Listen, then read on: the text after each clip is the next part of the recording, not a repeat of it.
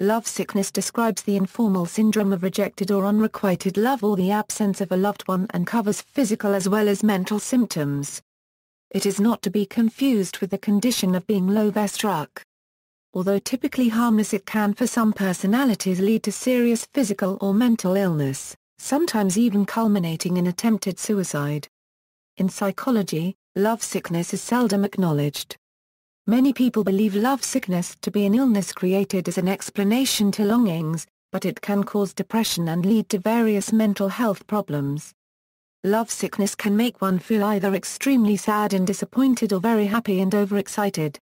Love as mental illness, literature and poetry have often described love as a kind of madness, and the medical profession takes a similar approach. According to the Hippocratic medicine view, passionate love will almost always fade or turn into love melancholia. Euro unregistered trademark a Euro this is a form of depression or sadness. Passionate love is the love in the honeymoon phase, the beginning of new love, but it burns itself out after a year or two. Compassionate love is what occurs after passionate love fades, it is a stronger bond of companionship. In both cases, love sickness can be experienced if love is lost or unrequited. In 1915, Sigmund Freud asked rhetorically, isn't what we mean by falling in love a kind of sickness and craziness, an illusion, a blindness to what the loved person is really like? Long before Freud, in 360 BCE, Plato stated, a Euro OE love is a serious mental disease, a Euro and Socrates added that a Euro OE love is a madness a Euro. Love sickness is an a Euro unregistered trademark T just a form of expression for those head over heels, but has been studied as an actual illness. Scientific study on the topic of love sickness has found that those in love experience a kind of high similar to that caused by illicit drugs such as cocaine.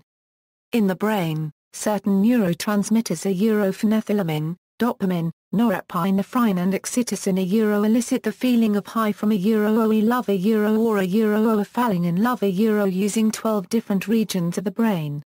These neurotransmitters mimic the feeling of amphetamines. On average a psychologist does not get referrals from general practitioners mentioning love sickness, although this can be prevalent through the language of what the patient feels with the common symptoms of love sickness being related to other mental diseases, it is often misdiagnosed or it is found that with all the illnesses one could be facing, love is the underlying problem. This is incredibly dangerous when one does not seek help or cannot cope because love has been known to be fatal. Symptoms Frank Tallis, a researcher in the topic of love and love sickness, suggests in his 2005 article that love sickness occurs when one is a Euro oh, or truly, madly, deeply a euro in love and should be taken more seriously by medical professionals. Similarly, health experts agree that love sickness has been known to kill and the diagnosis process should be taken more seriously.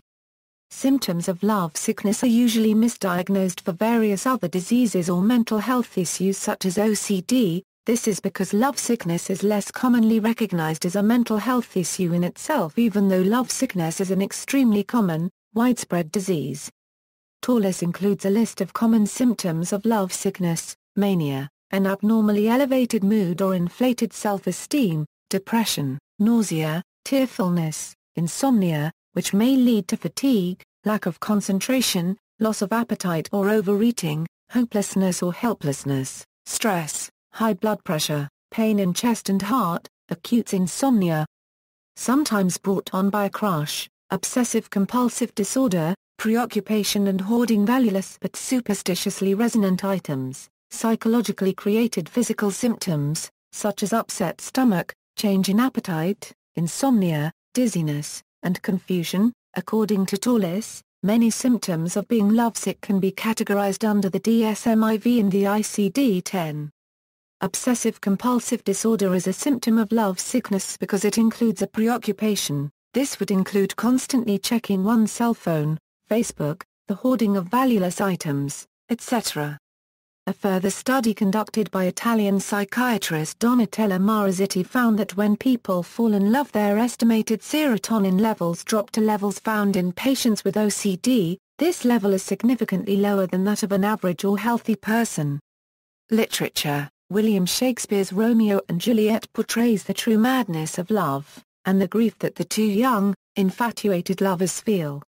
When Romeo finds his love dead, with the thought of living without his true love, the grief and depression overcomes him and he takes his own life.